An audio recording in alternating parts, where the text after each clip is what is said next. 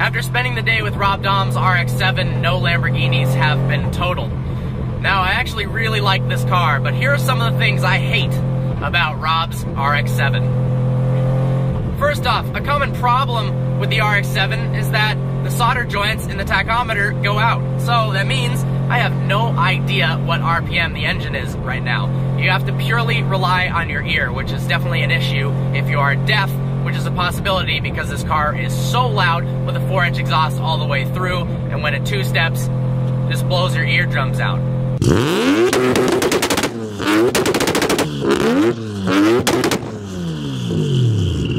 Now, to simplify his life, that's Rob's quote, he decided to cut the transmission wires, which now you have no speedo.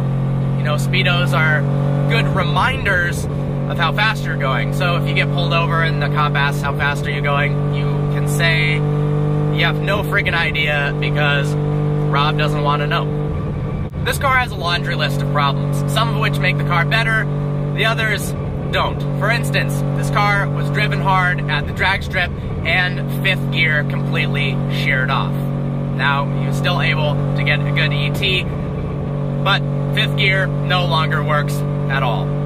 The car is extremely hard to drive. This is the most difficult car I've ever driven. Here's why. So, first off, it has no power steering, so the steering is incredibly tight.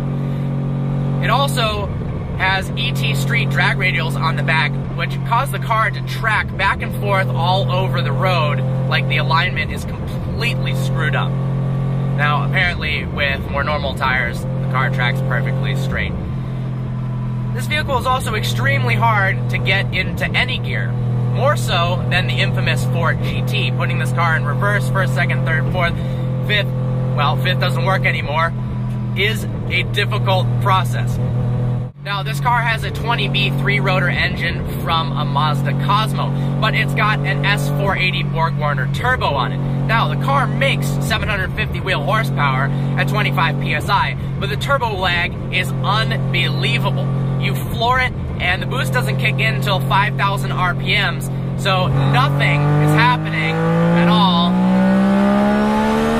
Then the boost kicks in. So definitely something you have to get used to. It's definitely fun when the boost kicks in, but that lag is unbelievable. The last downside of the RX-7 is that Rob Dahm's YouTube channel has more subscribers than me. Wait, that's that's not related to the RX-7. Uh, well, his Lamborghini is also cooler than mine. Nope, that's not related to the RX-7 either. Well, that's about it. This car is pretty awesome. It's got its quirks and stuff. It's hard to drive. It stalls when you're going at 40 miles an hour in third gear. Sometimes the car just decides to shut off.